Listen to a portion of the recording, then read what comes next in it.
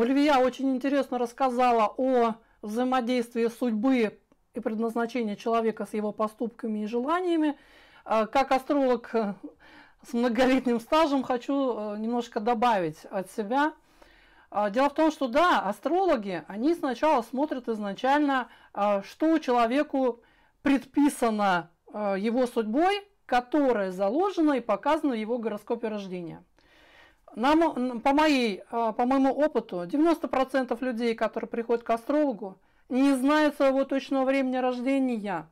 Они не сохранили бирочку. Это очень серьезная, колоссальная проблема. Приходит клиент, он ждет, что ты его как бы обслужишь и скажешь ему все, от и до, да?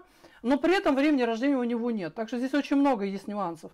Приходится сделать специальные а, процедуры по уточнению этого времени рождения. В некоторых случаях эта процедура невозможна. Называется она ректификация. А, я переключусь. А, можем ли мы помочь? Мы, астрологи, не, мастер, не мастера фэн-шуй, да? Астролог не занимается тем, что э, рекомендует переместить какие-то предметы или поменять дом, в котором человек живет. Мы оперируем понятиями географических координат, естественно. Например, есть такая астрокартография.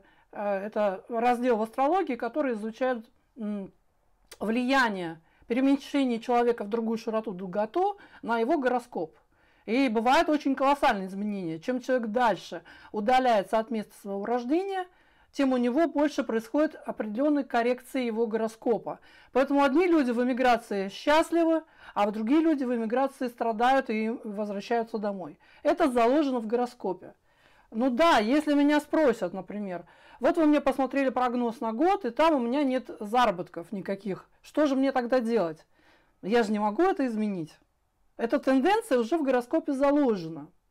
И насколько я правильно вас понимаю, вот, что вот фэншуй, он позволяет как бы что ли выпрыгнуть из базовых данных э, человека. Я правильно понимаю вас, что фэншуй позволяет с помощью определенных пространственных изменений, там перемещений каких-то средств, Э, даже пойти против той судьбы, которая заложена в базовом гороскопе. Правильно ли я вас поняла? Да, Женя, вы меня э, совершенно правильно поняли. Э, Но ну, вот вы астролог, наверняка у вас было количество карт, вы же не одну карту рассматривали, вы рассматривали очень много карт, и наверняка у вас был вопрос, что ну, у человека карта вообще ни о чем, ну вообще ни о чем, ну а человек хорошо зарабатывает, у него все в порядке в жизни и так далее. Э, вы не задавались вопрос, вы, и, естественно, у вас были вопросы, а как вот с такой картой человек вот стал таким, э, то есть он зарабатывает достаточно хорошие деньги, или же наоборот, э, вы видите какая-то кру- крутая карта у клиента, но человек вообще из себя ничего не представляет. У вас же были наверняка такие ситуации? И они были в жизни у любого человека. Если человек консультирует, то он наверняка сталкивался с этим. И что? И вы задаете вопрос, что что-то не то с наукой? Нет, конечно, нет. Просто все упускают еще один момент, это место, где человек живет. И да, отвечая на, вас, э, отвечая на ваш вопрос, если у клиента нет денег, в карте вообще никак не проявлено, что он вообще нигде не состоится и так далее.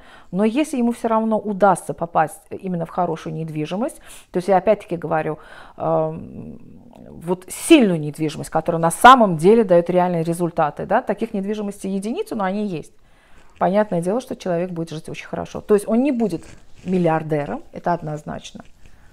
А, но то, что он будет иметь сотни тысяч, это точно.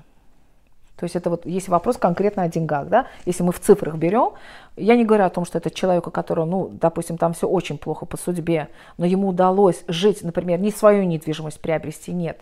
Он живет у человека, у которого шикарная недвижимость, потому что чаще всего таким людям невозможно попасть э, такого уровня недвижимости опять-таки по уровню сознания, да, но если они живут у своего друга, который богатый, то вы увидите, что со временем у него тоже появляется работа, хорошие связи, э, хорошие сделки и так далее. А наши мастера фэншуй всегда советуют, что если вы потеряли работу, а, если у вас все очень плохо с денежным вопросом или даже в семейной жизни, неважно, но у вас есть друг, а, у которого очень хорошие э, заработки, то есть он богат, или друг, у которого, допустим, семья, если вас волнует семья, то поживите у него дома, ну хотя бы два месяца, и вы увидите, как поменяется ваша жизнь. То есть вы обязательно найдете работу, вы найдете, обязательно найдете источники э, заработков и так далее. То есть фэншуй работает вне зависимости от того, какая карта. То есть если вы живете в этих энергиях, вы получаете результат. Но для этого нужно э, как минимум один раз попасть в такую недвижимость, чтобы ее почувствовать. Я надеюсь, что когда-нибудь мы вам еще и квартиру э, подберем, Женя, и вот тогда вы почувствуете, вы как эзотерик почувствуете разницу между обычными энергиями и э, энергиями высокой частоты. А, то есть они совсем другие, и а, в них по-другому думается, в них э, хочется реализоваться и так далее. Но это только минимум, да, то есть это самый примитивный момент, о которых я говорю. Но на самом деле, да, я отвечаю еще раз и подтверждаю, что да, я не говорю о том, что этот человек будет миллиардером, нет, но то, что у него будет сотни тысяч, это точно.